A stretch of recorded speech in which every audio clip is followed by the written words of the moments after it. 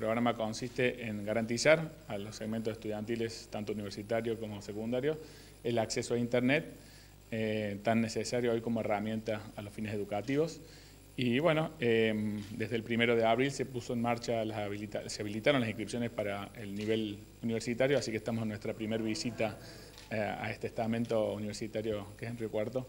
Em, muy contento de estar aquí, agradecido con la invitación y explicando un poco el paso a paso para la inscripción, el justificativo del programa y la naturaleza del mismo, que es de carácter, como dije siempre, universal,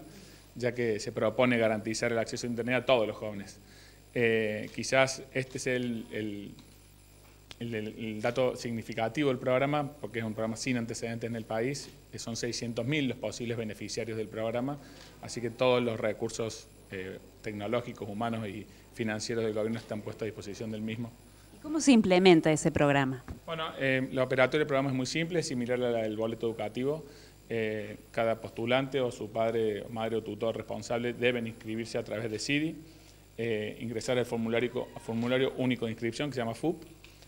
allí completarlos con sus datos, enviarlo, el gobierno luego realiza una breve evaluación, se fija que, cumpla con los requisitos de edad y de matriculación, si la persona supera ese pequeño control que hacemos, inmediatamente se autoriza la billetera virtual de Bancor que se llama Taca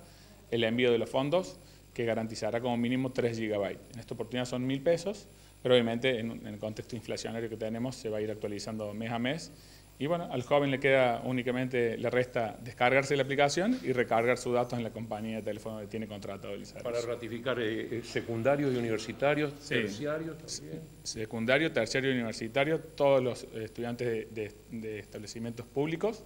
y en el caso de secundario, establecimientos públicos, privados de, con aporte estatal. ¿La recarga es automática mes a mes? Sí, mes a mes. Eh, en realidad, la recarga requiere que cada joven mes a mes efectúe una recarga en este caso de mil pesos, para que se valide el cumplimiento del programa y, nuevamente se renueve la recarga. Hasta el momento, eh, acaban de, lanzarlo, ¿cuántos inscriptos tienen? Eh, te agradezco la pregunta, estamos muy satisfechos con, el número que estamos teniendo, eh, estamos superando los 90.000 inscriptos